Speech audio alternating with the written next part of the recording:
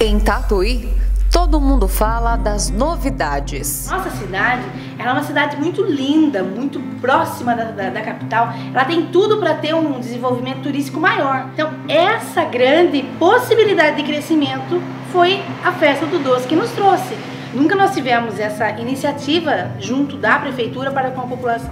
Tem pessoas né, que vêm até hoje e falam: Ah, eu conheci isso aqui na festa do doce. Então, isso é muito legal.